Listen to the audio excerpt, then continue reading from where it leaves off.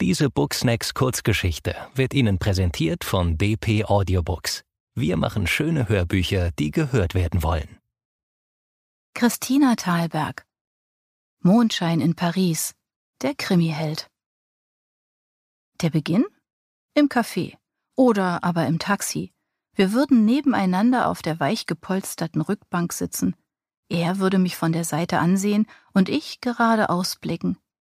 Das Taxi würde langsam durch die regnerische Nacht gleiten, und ich würde sehen, wie die Scheinwerfer der entgegenkommenden Autos tiefe Säulen in den nassen Asphalt der Avenue brennen. Er würde nicht den Arm um mich legen, weil er denkt, ich würde es banal finden, wenn er genau das macht, worauf ich warte. Nein, viel zu verschachtelt. Oder besser im Café? Im Flash d'Or, in dem ich gerade sitze? Eine ehemalige Bahnhofshalle, von der Decke hängen Teile einer alten Lokomotive und die Leute haben grün gefärbte Haare. Sie sprechen und lachen laut genug, um eine mögliche peinliche Stille zwischen uns zu überdecken. In Wirklichkeit hat die Geschichte weder im Taxi noch im Café angefangen. Phil ist direkt zu mir nach Hause gekommen mit einer Packung Präservative in der Hosentasche. Wie ein richtiger Mann, so hat es meine Freundin Claire vorschnell ausgedrückt. Danach dachten wir, den kompliziertesten Teil hinter uns zu haben. Dabei ist der Anfang nur der erste Schritt und alle weiteren sind so kompliziert wie die vorigen, zumindest für Leute, die ihr Leben damit verbringen, Vorsichtsmaßnahmen zu treffen. Darum war das Flash d'Or der richtige Ort für uns. Cool, bunt und laut genug, um unsere Zweifel zu übertönen.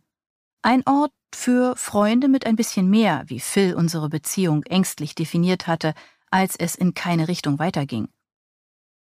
Was mir dabei fehlte, merkte ich erst, als Claire mich vor ein paar Tagen in ein Tangolokal zerrte. Dort war alles erlaubt. Das Tremolo hoher Männerstimmen, die von Sehnsucht sangen, tragische Falten auf den Stirnen der Tanzenden, glühende Blicke. Und schon hatte ich neue Hoffnung geschöpft, mir tragische Falten auf Phils Stirn vorgestellt, seine bebende Stimme. Hm. Allein der Wirt des Flash d'Or stellte krachend ein Bierglas vor mir ab. Gleich kommt. Ich suche nach dem passenden Ausdruck, doch er unterbricht mich, will wissen, wer ich bin, will es dann aber doch nicht wissen, auch wenn ich immer gern versuche, diese Frage zu beantworten, sondern erzählt mir von seiner Kneipe. Bitte. Keine Szene, sondern eine Stadtteilkneipe und den Gästen, keine prätentiösen Möchtegern Künstler, sondern einfach Leute aus dem Viertel, betont der Wirt und deutet stolz.